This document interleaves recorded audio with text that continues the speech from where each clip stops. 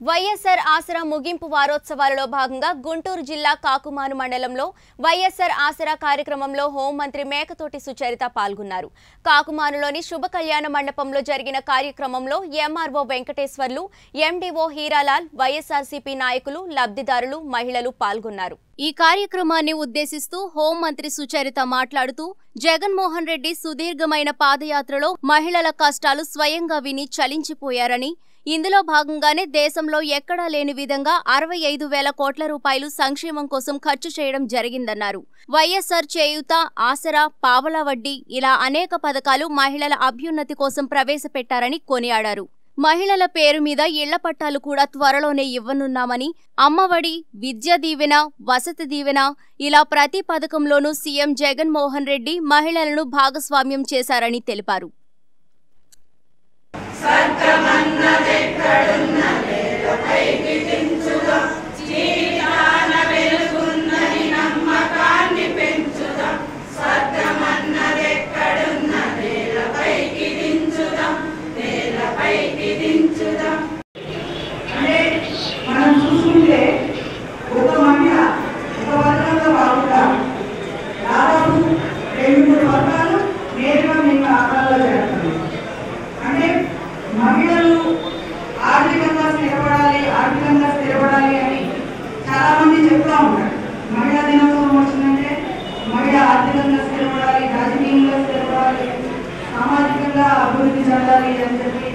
ప్రతి ఒక్కరూ మాట్లాడతాం కానీ ఎవరు కూడా ఇంత పెద్ద మొత్తాలు నేరుగా మీ ఖాతాల్లో జమ చేసినటువంటి ఖాతాలు ఎప్పుడైనా ఉన్నాయా?